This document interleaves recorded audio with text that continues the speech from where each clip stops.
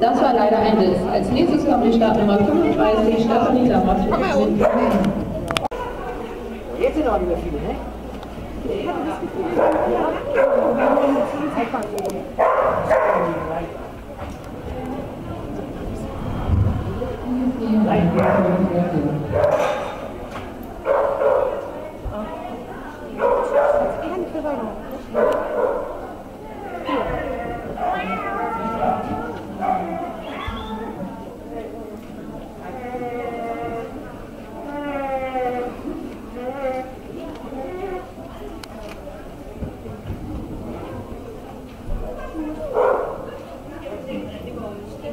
Woo!